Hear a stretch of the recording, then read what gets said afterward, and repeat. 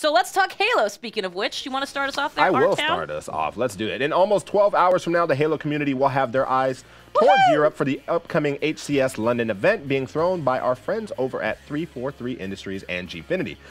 Competitive Halo has its roots in sold out venues, and we're glad to see that the lifestyle continue with this in person LANs such as this.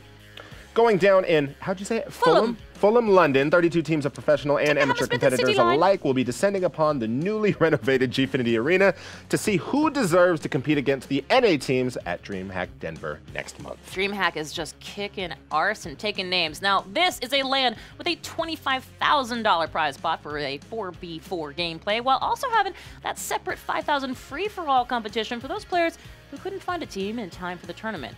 Uh, a grab bag, if you will. That's true.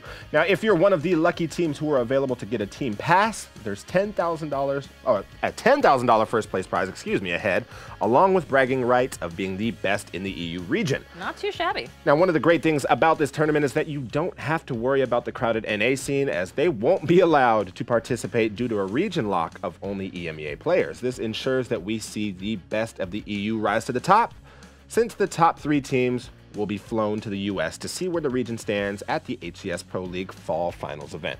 Man, okay. So there's a great how to watch article on halo.gg called HCS London 2017 Preview, which dives into the broadcast schedule, which starts tomorrow at 4 a.m. Pacific, 12 p.m. BST, which I'm guessing is Greenwich Mean Time, but I can't remember.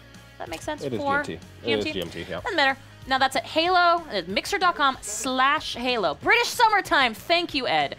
Along with what the casters think of the different pro teams attending. Speaking of those seven beautiful faces we just saw, they'll be gracing your eyes and ears this weekend, so make sure to show your support for Halo and the competitive scene by tuning in. There'll be REQ Pack and other giveaways involved, so stay up and watch the show. Or even better, attend it yourself and obtain an in game emblem from the folks at 343. We'll see if we can snag an interview with the eventual winner, maybe one of the casters of the event in next week's show. Maybe. Maybe, just maybe. 4 a.m. is an early time for some peeps. To start, nah, it'll be. Or it's just like going to bedtime. It's go- going. It's like, oh, great, this is starting. Speaking of grinding starting, away, you know, grinding away on my games. Like, all right, it's time to go.